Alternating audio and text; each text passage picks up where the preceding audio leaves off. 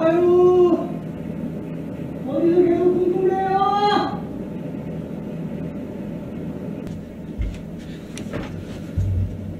화장실에다 뭐 소- 어딘지 몰라서 화장실에다 얘기했어. 어딘가 시끄러운 데서 들르길 바라면서. 어.